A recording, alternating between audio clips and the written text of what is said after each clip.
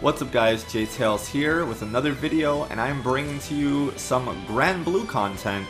My main right now is Katalina. I've been experimenting with a lot of different characters, but I'm just going to show you guys the basics of Katalina so that you can know how to play her and win some matches hopefully. So let's get right into it, shall we? First thing to know is her pokes, right?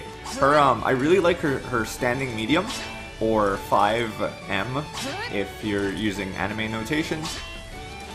Um, 5M is just a really good way to poke, right? So if Gran was to press a button or even do a special, uh, I can kind of go for like poke special, right? And if he hits a button in that time, he's going to get hit.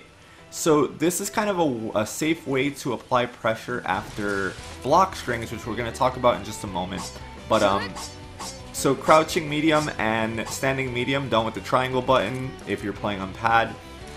Um, it's just a good way to keep your opponent in check and notice how I'm like moving forward and still doing these crouching M's. So it's just a good way to apply pressure and to kind of, you know, do these micro steps and to really pressure your opponent in neutral.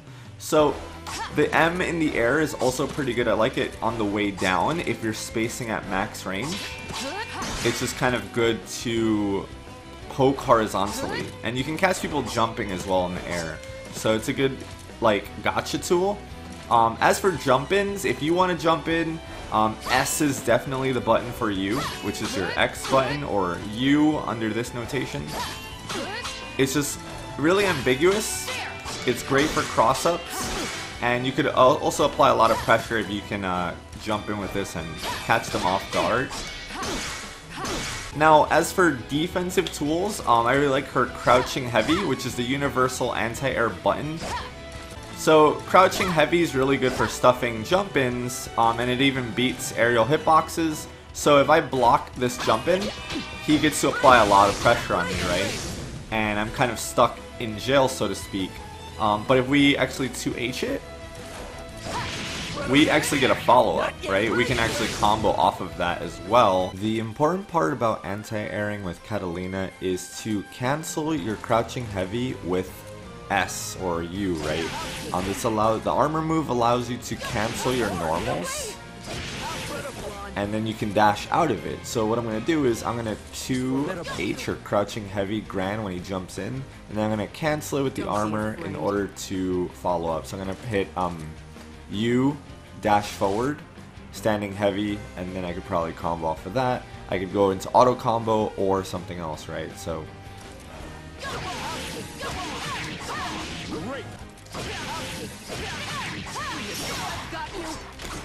So you want to make sure that when you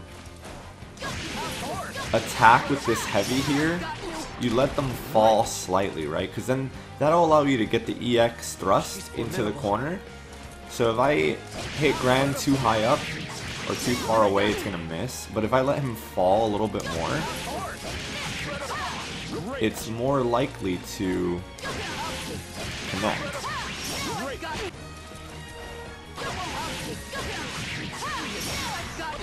And then I could combo off of that, I can go into super if I want. Um, but generally in the mid screen, you're probably going to um, just go for like a one of these. You still get 4,200. It's it's not bad, but basically I'm avoid avoiding scaling. So if it's gonna kill, you might as well do the 4K one. But yeah, it's just super important to learn how to cancel the crouching heavy into um, U and then dash out of it to follow up. Um, very, very important to Katalina's anti-air game. Aside from that, when you're playing neutral, you're kind of just hoping to poke with your um, standing medium. Alright, we're both, you know, maybe he's throwing projectiles, I'm throwing projectiles, so basically I poke him and then I get to combo and push him into the corner. If you ever... Don't be a... If you ever get like a jump in,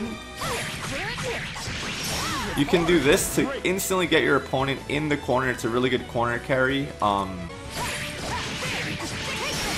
at the end of the string to get him in the corner, and then you start pressuring with lows. You can low, high if you want. Um, and you just start poking. You just keep keep him at poke range, and if he jumps, you anti-air him, and you kind of just keep poking him, right?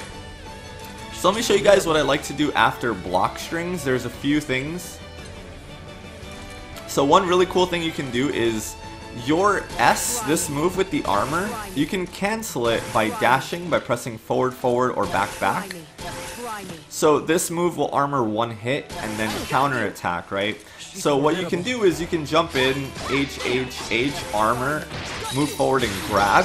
If they hit a button, you will get hit, but it's just a, a nice mix-up to add to the end of your block string if you don't want to commit to the icicle, right? So, or you can go,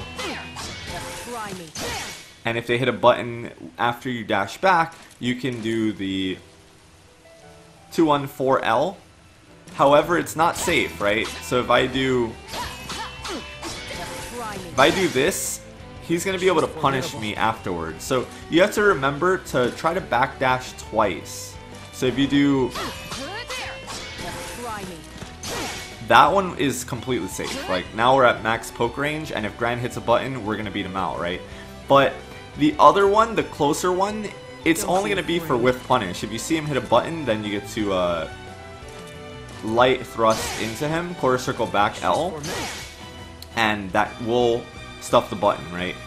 So for the most part with Katalina, you're doing this in neutral, and even if Gran is also throwing projectiles, you can use that time to uh, roll in and try to just poke and apply more pressure.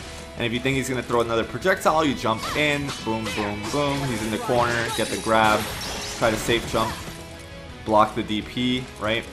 Um, but Katalina is just really straightforward. She's one of the most straightforward characters in the game. When your opponent's at about this range, that's when you want to thrust because it, it's it remains safe. If you do it too close, it will be punishable even if you hold block.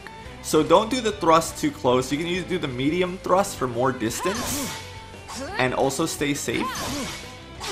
It also leads into a combo on counter hit, so definitely keep that in mind. Uh, she's like Charlotte in that she has an invincible DP.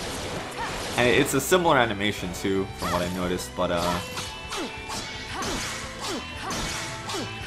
So I just really apply a lot of pressure like that for the most part. If I think they're gonna do something, I'll I'll thrust in pressure, and then if they jump, I just anti-air combo off the anti-air. When I think they're gonna projectile, I jump in, slash, slash, slash. More block string stuff. Um, so let me show you guys some Katalina combos you guys can do to get big damage once you do finally get a hit. A lot of your combos are going to be against the wall. Um, Katalina doesn't have too many combos from mid-screen because you need the wall bounce. One, uh, one really cool thing you can do is uh, if you get a jumping S, you can do any combo. So like you can do jumping S, H H H, quarter circle forward heavy, crouching heavy into light thrust, and then you get more hits into EX thrust, actually. So let's check it out.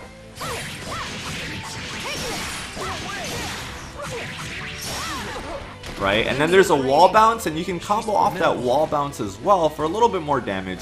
So you get two thrusts in one combo there.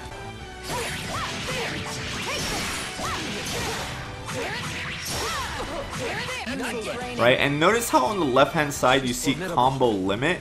It's actually not too beneficial to do too many hits with Katalina specifically. You reach the combo limit pretty quickly as you noticed and your opponents will be able to tech out and kind of uh, avoid damage. So I keep Katalina combos pretty short when I play her.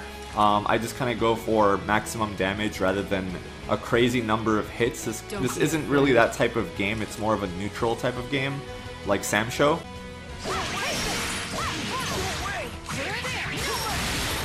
Right, so with that we just did about 5,000 damage, half half his life off of a, you know, standing, uh, jump in S.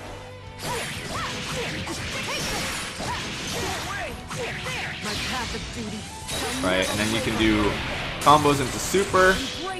If you don't, if you're not at 30% health, make sure that your meter is at um, 100% at the top if you're not lower than 30% health so you can do the ice grenade super which is quarter circle forward twice into heavy. Right? So and that has invincibility on it as well. So you can use it as a counter poke or if they jump in it can be an anti-air tool as well sometimes. So basically your main combo structure is going to be like a, a, a, couple of hits on the ground into EX Icicle. This lets you combo more afterwards. Then you're going to use your EX Thrust, right? Combo, combo, combo. You can do that, or you can go into a super there if you want.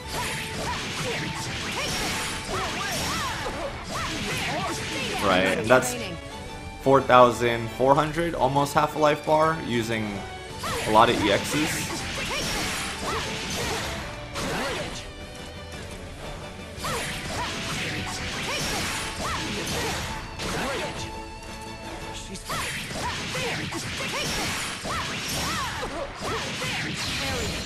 And then you can combo into super off of that wall bounce as well and get about 5,500 damage.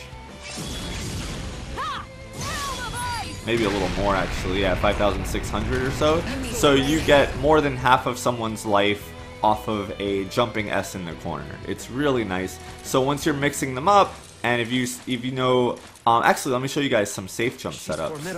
All right, guys. The last thing I want to talk to you about is something called a safe jump, and this is a universal setup. Whenever you sweep somebody, if you hold up and forward, and go for a falling S depending on your character. Some of them have like dive kicks which influence the timing, but generally for the most part, if you sweep and then hold up and forward, you will be able to guarantee that you block any wake up setup like DP or a super.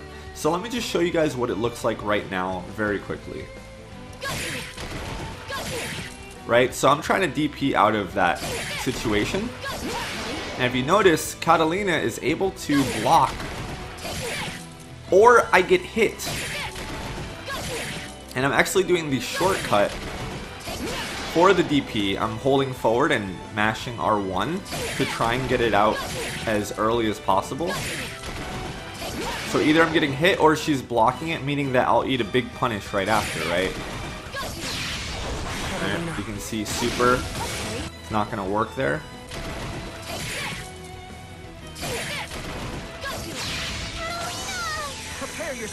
Right? She'll be able to block any supers.